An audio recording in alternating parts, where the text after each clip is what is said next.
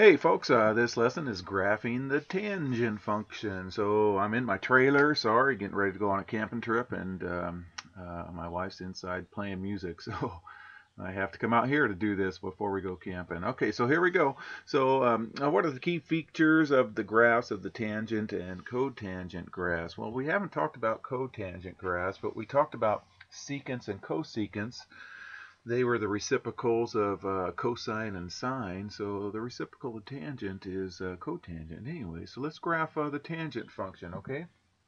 Here we go. So we're going to go ahead and plug in some uh, x values uh, that we can take the tangents of easily enough. So, so you know, uh, the zeros, the uh, the pi over 4 families and the pi over 2 families. 3 pi over 2 is a pi over 2 family. So so pi over 4 is in quadrant 1, 3 pi over 4 is in quadrant uh, 2, quadrant 3, quadrant 4. Remember, all students take calculus. and Okay, so uh, let me remind you that uh, the sine is, uh, or the tangent is sine over cosine. Okay, so um, so so here, remember they always go uh, cosine comma sine. So cosine sine, cosine sine. So we're going to do this value right here, the zero right here. So the tangent of zero is going to be sine over cosine. Okay, the tangent of 45, root 2 over 2 over root 2 over 2. Well, this is just 1. Okay, sine over cosine, sine over cosine, sine over cosine, all the way around with the pi over 4s and the pi over 2 families, okay? All right, so th these are easy enough because this over this is just 1, and then this over this is negative 1. Uh, this over this and negative over negative is a positive right here, and finally this over this is, is negative 1, okay? All right, and then remember, you guys, um, uh, when we reciprocate um, uh, zeros, you guys, um, uh, we get undefined, and when we reciprocate, um, uh, I'm sorry, yeah, when we reciprocate, uh, uh sorry, uh, a, a, zero over a number equals zero, sorry, and a number over zero is undefined, okay? So, so here we have zero over one is zero. Up here we have one over zero, undefined. Zero over one, zero. Negative 1 over 0 is undefined. Any number over 0 is undefined, and 0 on top of any number is equal to 0. So, so we get uh, some vertical asymptotes like we did in the last lesson right there. Okay, so here we go. So, so let's do this on 2 pi. So we're going to go ahead and graph uh, 0, 0. So it's going to be right there. Going to graph pi over 4. Let's split this up into more. Here's pi's over 2's. Okay pi over 2's, pi over 4's, and then when we graph those guys, we put the uh, the asymptotes in. And then, uh, so here's 0, 0. Here's a pi over 4 comma 1. Here's um, 3 pi over 4 negative 1. So, and then here's uh, pi 0. And then, and then, uh, hello Benny. Benny's my cat. He came in the trailer with me. He's sitting here purring. He wants me to pet him.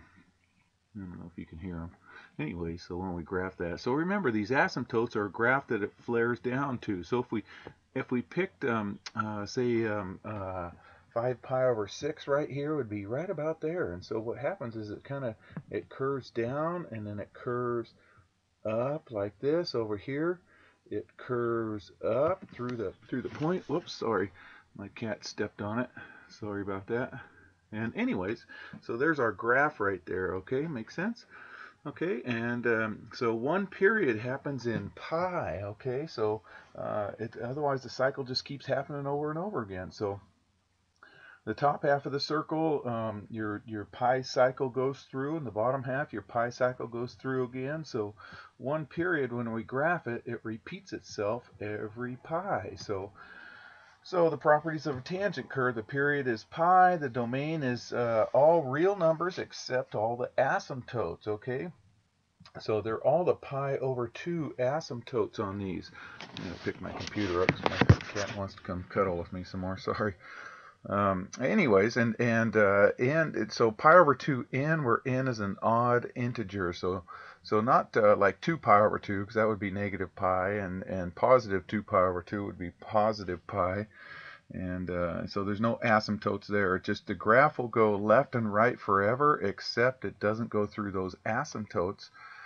Asymptotes, Mr. Sargent. Uh, anyway, So, um, so the range is uh, all real numbers. It goes up and down forever and ever and ever. Okay, so here's here's what I my trick on what I did this, and I and I know that the period is in one pi, and typically we graph this middle part right here to show the tangent curve. But on a scale from 0 to 2 pi right there, because remember the sines and cosines and secants and cosecants are on 2 pi. Um, uh, so I'm going to do the 2 pi trick. So it starts and ends at 0, halfway at 0, halfway asymptote. So put some asymptotes in there and then it goes uh, plus 1, minus 1, plus 1, minus 1. Okay, so here, I'll show you this. So let's, let's clear this up. So same thing that I just did right there. So let's do this. So we're going to start it and end it at 0, halfway at 0. Okay, so there's start and end at 0, halfway at 0. Halfway asymptotes, so we'll put those in. And then we're going to go um, uh, plus 1, minus 1, plus 1, minus 1. Okay, so that's that's how the the uh, tangent graph go, goes that way. Okay. All right. So let's uh, uh, let's talk about the cotangent. The cotangent is the reciprocal of the tangent curve. Okay.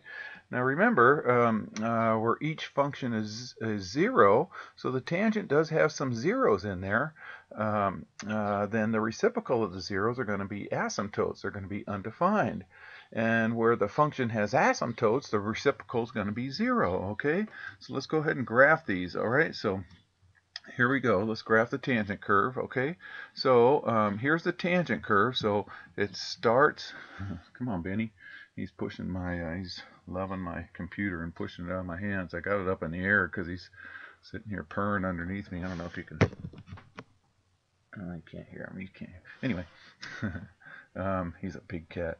Uh, okay, so this this is the tangent curve. Okay, so um, it starts and ends at zero, halfway at zero, halfway asymptotes, and then halfway it goes plus 1, minus 1, plus 1, minus 1. That's the tangent curve, okay? So now what we're going to do is, is reverse it. So where the zeros are, we're going to put asymptotes for the cotangent. So there, there, and there, okay? And then where the asymptotes are, are going to be the zeros, okay? So let's go ahead and do that. So there they are right there. Let's uh, put those asymptotes at the zeros, and then zeros at the asymptotes right there. Okay, and then now we just go, it still goes plus because the reciprocal of 1 is 1, the reciprocal of negative 1 is negative 1, positive 1, negative 1. So it's just doing a backwards or a flip or a, a reflection of the tangent curve. Okay, so there it is right there. It's going, it's a black graph right there. So let's take out the other stuff, and there's the cotangent curve. Okay. All right, so plot uh, one cycle of the transformed tangent function g of x on the axes with the parent function f of x. Sorry, I got my cat bumping into me. Okay, so here we go. Um, we're going to graph this function. Let's go ahead and graph uh, the tangent uh, of x first, you guys. So it's going to um, it's going to start here, and 2 pi would be like right over here. So end here, halfway at 0. So starts and ends at 0, halfway at 0, halfway asymptotes and then plus 1, minus 1, plus 1, minus 1. So there's a, the tangent graph. And I could have kept graphing that through here and through here. But your book just wants us to recognize this middle portion right here. This is one period right here from negative pi over 2 to positive pi over 2. That's 1 pi right there. Okay, so now we're going to take this graph and it's going to be, uh, the amplitude is 1 half. And this uh, reflects our, our, our our period right there. Okay, so there's one third in pi. Okay, so let's go ahead and do that. So um, uh, the, the amplitude is one half because of this one half right here. Okay, and I thought I, and then the period is one third. Okay, so I'm not one third, but this one third right here, this there's a one right here, one third. There's one third of a period in pi because the regular tangent curve is 1 in pi, so there's 1 third in pi right here. So it's like multiplying both sides by 3, we get uh, one, one period in pi, right, in 3 pi right there, sorry. So we're going to go out here, so uh, so it's going to be it's going to be tripled right here. So what I'm going to do is uh, this asymptote is going to move out three times as much, okay? And then this point is going to move out three times as much, except it's only going to go down a half right there. Okay, so basically, you guys, uh, up and down half as much and stretched over three times as much. So I'm going to move this over three times as much. So we're going to go, here's here's one, here's two, here's three. So this asymptote right here is going to be this guy, and then this one I'm going to move one, two, three right there. This would be two right there. This will be three right there, okay?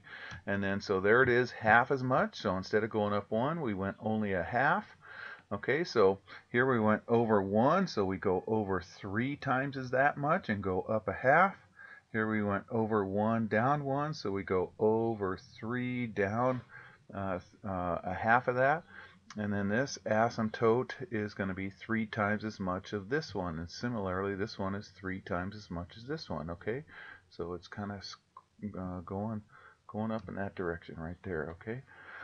All right, let's do one more, you guys. Okay, so here uh, we're going to go ahead and graph. Uh, let's graph the middle part from um, uh, negative pi over 2 to positive pi over 2 for for uh, g of, for tan of x. Okay, so there's f of x equals tan of x, and notice every two squares is pi over 4 on this one. So every two is pi over 4. So this is 2 pi over 4, 3 pi over 4. Here's 4 pi over 4.